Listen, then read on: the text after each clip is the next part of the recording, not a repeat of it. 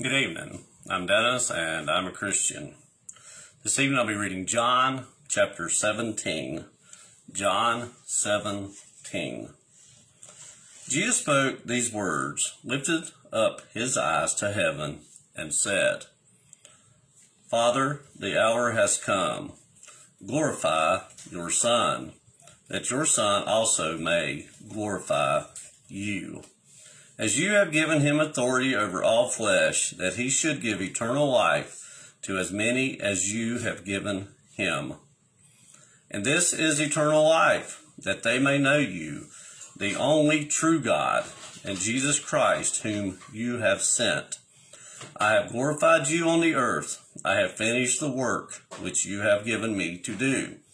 And now, O Father, glorify me together with yourself with the glory which I had with you before the world was. I have manifested your name to the men whom you have given me out of the world. They were yours. You gave them to me, and they have kept your word. Now they have known that all things which you have given me are from you. For I have given to them the words which you have given me and they have received them, and have known surely that I came forth from you, and they have believed that you sent me. I pray for them. I do not pray for the world, but for those whom you have given me, for they are yours. And all mine are yours, and yours are mine, and I am glorified in them. Now I am no longer in the world, but these are in the world. And I come to you, Holy Father, keep through your name those whom you have given me, that they may be one as we are. While I was with them in the world, I kept them in your name. Those whom you gave me I have kept, and none of them is lost except the son of perdition, that the scripture might be fulfilled. But now I come to you, and these things I speak in the world, that they may have my joy fulfilled in themselves. I have given them your word, and the world has hated them, because they are not of the world, just as I am not of the world. I do not pray that you should take them out of the world, but that you should keep them from the evil one. They are not of the world, just as I am not of the world.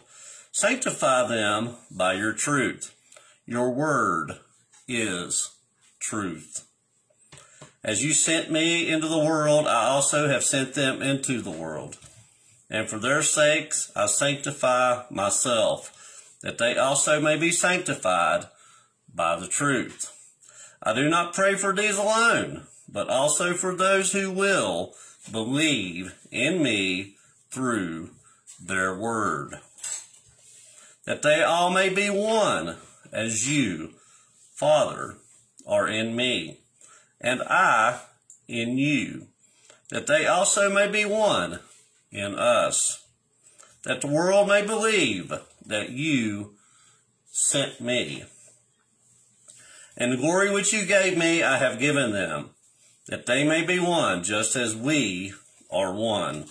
I and them, and you and me, that they may be made perfect in one, and that the world may know that you have sent me, and have loved them as you have loved me. Father, I desire that they also whom you gave me may be with me where I am, that they may behold my glory, which you have given me. For you loved me before the foundation of the world. O righteous Father, the world has not known you, but I have known you, and these have known that you sent me. And I have declared to them your name, and will declare it that the love with which you love me may be in them, and I in them. That was John chapter 17, John 17, reading from the New King James Version.